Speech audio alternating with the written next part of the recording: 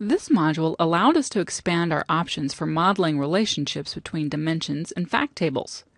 With regard to reference relationships, we learned that we can create a link between a dimension and a fact table even if the fact table does not have a foreign key column for that dimension, as long as an intermediate dimension exists and that dimension has a foreign key column for the dimension to reference.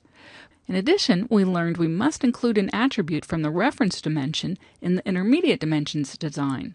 We then define the reference relationship in the cube's dimension usage based on the attribute in common between the reference dimension and the intermediate dimension.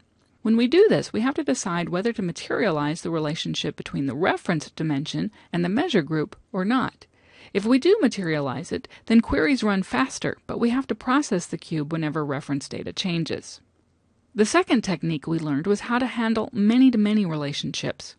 This data scenario requires us to create a bridge table to link to a dimension having a relationship with a fact table and the many-to-many dimension that we want to associate with that fact table. The first dimension can be a regular dimension or it might be a degenerate dimension that's built into the fact table. Either way, we need to create a dimension in the Analysis Services database and add a measure group for the bridge table, and then link all these tables together in the cube's dimension usage. Many-to-many relationships can slow down queries and cube processing, so they should be used with care.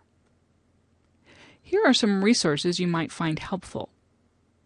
Some of these resources might refer to earlier versions of Analysis Services, but they're applicable to Analysis Services 2008, 2008 R2, and 2012 multidimensional.